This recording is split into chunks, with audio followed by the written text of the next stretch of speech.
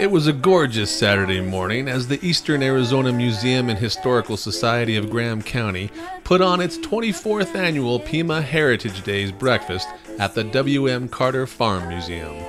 The striking Sapphire Sound provided the music for the event, which featured a raffle, quilt show, and, of course, the renowned cowboy breakfast.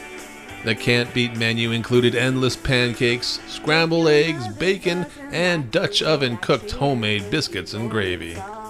There were games for the children and plenty to see at the museum, including a family display featuring the Farron and Sanders families and longtime first grade teacher Stella Brown.